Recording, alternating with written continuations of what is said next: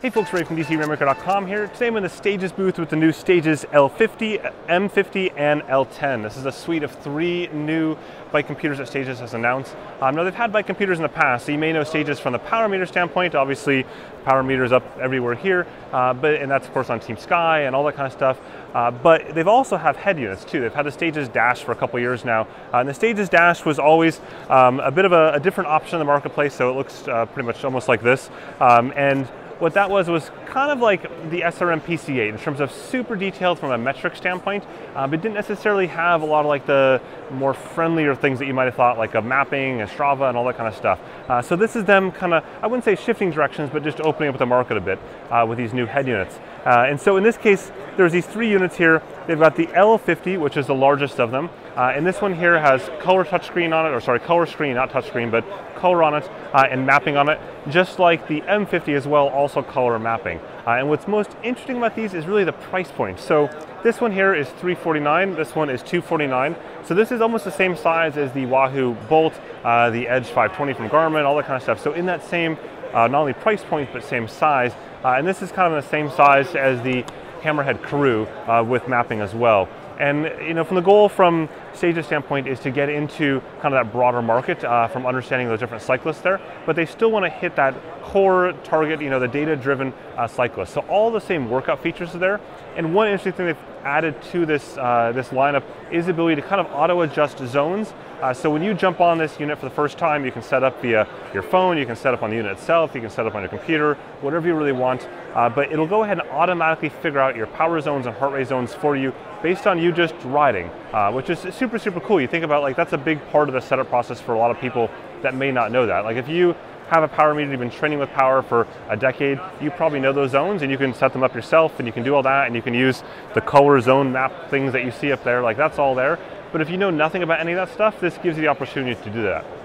Now from a mapping standpoint, uh, they are not having full routable mappings on this, routable maps on this, so you can't, you know, reroute if you get lost. But they have maps that show you uh, your track. It'll say turn left on this, turn right over here. Uh, you can import those routes from different services. So it's very similar to what Wahoo has delivered from mapping standpoint, but it's not quite the same realm as full routable mapping like on a Hammerhead Karoo, on some of Garmin's high-run units, on the new Sigma Rox 12. It just kind of sits in the middle there. But for a lot of people, that actually works just fine. They don't necessarily need to reroute all the time, and if, if you don't get lost a lot, that's, that's probably good.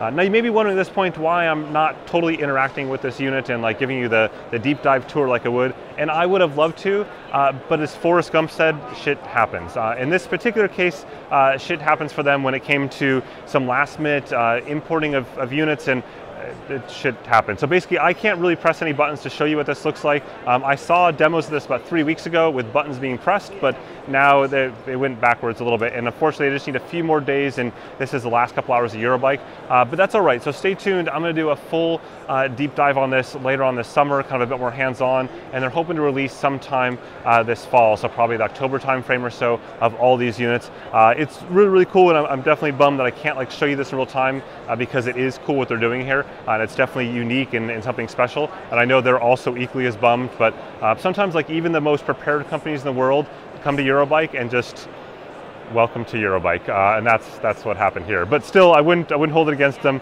Uh, I think it's awesome. I think the price point's awesome. Also worthwhile pointing out is all these mounts here. So there is a lot of mounts here that they've got for this, uh, and the mounts come in a box. So unlike uh, others where you have to buy those metal mounts afterwards, uh, not all these mounts, but one of these mounts comes in a box, uh, and it is kind of cool to see them do that versus having to go out and buy yet another mount out there. And you can see from the different mounts, different things. There's TT mounts, there's uh, mounts with you know GoPro adapters on the bottom of it, so you can go ahead and put a GoPro there or lights there or whatever you have. That's all there. So really cool to see them kind of branching out and kind of finding a unique thing that's that's theirs. Um, finally, on the price points as I mentioned, 349 for the big one, 249 for the little one or the medium one, and then their existing one, the L10, it's not quite just a straight rename. It's actually a bit more than that. It's a rename and adding new features to it.